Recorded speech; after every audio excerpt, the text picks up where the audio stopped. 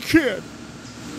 Don't just stand there. Get to dipping. You'll never make it to patty flipper if you're just standing around all day. Kid, my office.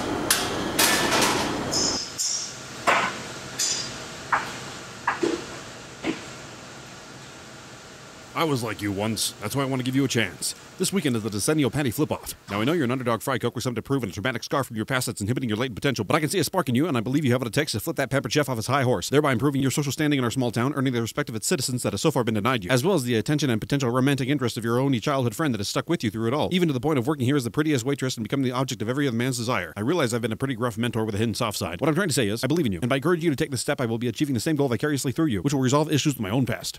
Have I made myself clear?